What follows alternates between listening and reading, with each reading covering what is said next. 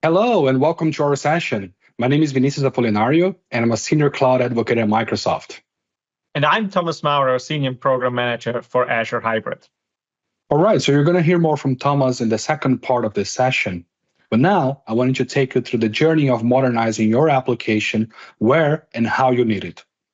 Now, you might have heard about Azure Migrate, and Azure Migrate provides a lot of options for migrating applications from on-premises into Azure. You have a few options, for example, for applications that are sitting in an old server running on VMware, running on Hyper-V, or even running in another cloud, for example. You can take the application sitting on that VM and just move to a VM in Azure. Now, when you do that, you're not changing any operations practices that you might have. You're just taking advantage of the platform services that Azure provide you have other options. You can move your application to a Windows container, and then you can modernize that application by putting it either on Azure Container Instance, Azure App Service, or Azure Kubernetes Service, and then take advantage of all of what the platform has to offer. You can even put the application side by side with new applications that are being developed for containers and Kubernetes.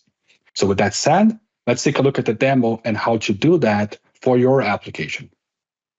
All right, so here is my application running on premises. You can see that I can click around. The application is running fine. I can see the content of my application, but this is running on an old server. And what I want to do is I want to modernize this with Windows containers. So I'm going to switch to add containerization on Azure Migrate. And this is the tool that is going to extract the application from that server and put it in a Windows container. This is a ASP.NET web application. I'm going to target Azure Kubernetes Service, but I could target even Azure App Service. I'm going to click Continue. I'm going to go through the prerequisites for my environment.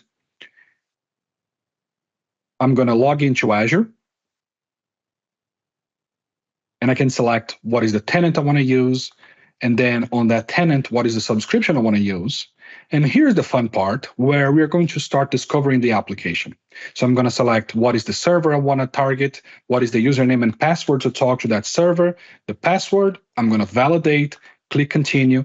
And next, we are going to look at the application itself. So here is, it is the default website that I have and I can select what is the name of the container image that I'm going to create. And I can select even what is the application configuration, what are the additional folders that I might want to put in the image. And I'm going to continue to look at the Azure Container Registry where my application is going to be hosted as a Windows container image. We're not going to do that. So just so you know what the process looks like, we're going to build the container image on an Azure Container Registry. And from there, you can deploy whatever you want. You could deploy on premises, you could deploy to Azure. It's your choice.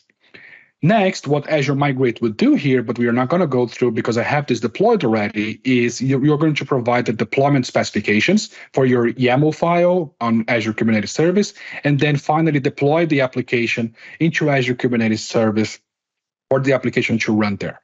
Now, what I'm going to do is I'm going to switch to Azure Portal and show that I have a lot of resources here already created by Azure Migrate. And the first one I want to show is the Azure Container Registry. So I'm going to click here. I'm going to click the repositories, and you can see that I have my container image here already. And this is the version one of my application that I created with Azure Migrate.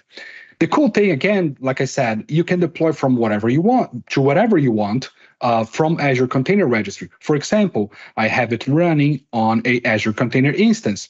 And an Azure Container instance is great if your application is more like an immutable application. It's not going to scale up or down. You're not going to change the application. You just want the application to run in the cloud. So you can see that I have the IP address of the application. And if I click here, this is my application running on Azure Container Instance. It runs exactly the same as it was running on premises. I can click the links over here and I can see the content of my application. Everything is working exactly as it was, but now in the cloud. I can also deploy to app services. And app service is great for web applications where you want to have more control about the scale, control about A-B testing options, and those things. Now, again, this is exactly the same application. So if I go to this URL, you can see that I have exactly the same content that I had on premises. Now, if you need even more flexibility, you have Azure Kubernetes Service. And with Azure Kubernetes Service, what you have is you have a managed Kubernetes service where you don't have to take care about the infrastructure. You only take care about the nodes and the application itself. So let me show you the application here up and running. I have the workloads. You can see that I have my IIS sample. If I click the services, you can see that I have the service of my application with the IP address. So if I go over here, this is the application now running exactly the same way, but with all the flexibility of a Kubernetes platform. All right, so now let me hand off to Thomas to talk about the options of running Azure Kubernetes Service either in the cloud or on premises. Thank you, Vinicius. So the next step in our application modernization journey is to provide developers with a platform where they can run their Windows and Linux containerized applications. And nothing better for that than our Azure Kubernetes service. The Azure Kubernetes service is a hosted Kubernetes service, which allows you to run Kubernetes apps on top of it. It can run in one of our Azure regions, or it can run on premises or edge locations using the AKS hybrid deployment options together with the Azure Arc integration. So let's have a quick look.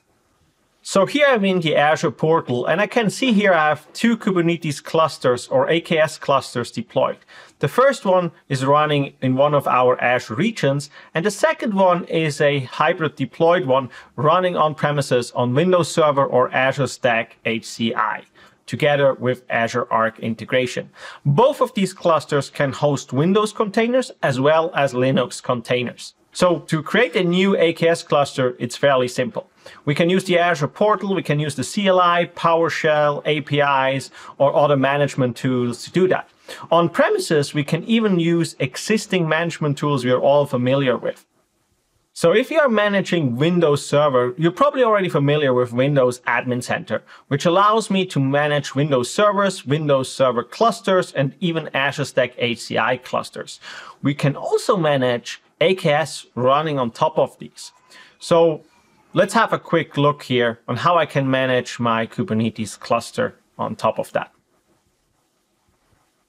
So here I can see that I already have installed the AKS hybrid on top of Windows Server. And you can also see here, I created a workload cluster and a Kubernetes cluster where I can deploy my containerized apps on. I can also easily uh, create a new cluster directly from Windows Admin Center. But I want to show you a new experience we just showed you at Microsoft Ignite. You can now also deploy and provision new AKS clusters running on premises and at the edge directly from the Azure portal or using the Azure CLI or ARM templates. For that, you would just create a new cluster here.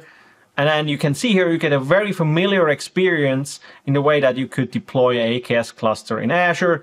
And as all of these options, as I mentioned, we support Windows and Linux node pools here. So your applications can run Windows containers and Linux containers side by side.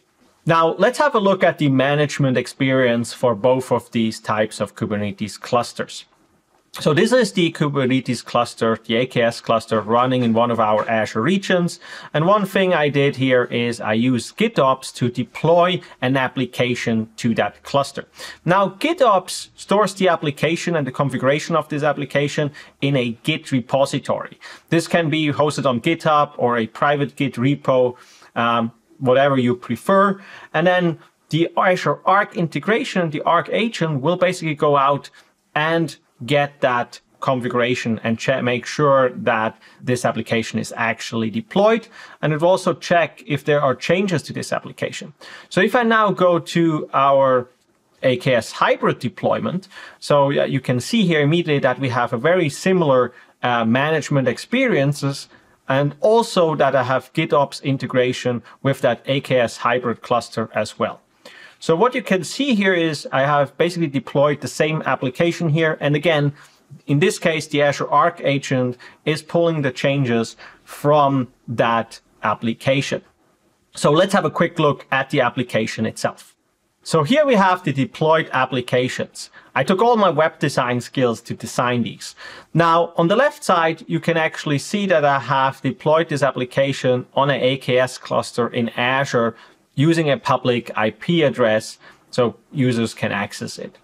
On the right side, you can see the same application running on our AKS hybrid deployment, running on premises on Windows Server or Azure Stack HCI, and using a private IP address. So both of these applications look exactly the same, but we can see here that Tailwind Trader did a mistake on this in their writing, or they should basically update their website. So let's have a look on how we can do that, and let's go to that Git repo where the application is stored. So here is the Git repo where we actually store the application uh, configuration. And you can see here, I can see here which containers I'm actually running from which repository and how much, much replicas I'm running. And then you can see here we also have the message here. So let's change that and update that to 2022. Uh, I'm going to do that. And usually a developer would do this using their favorite development tools such as Visual Studio or Visual Studio Code, for example.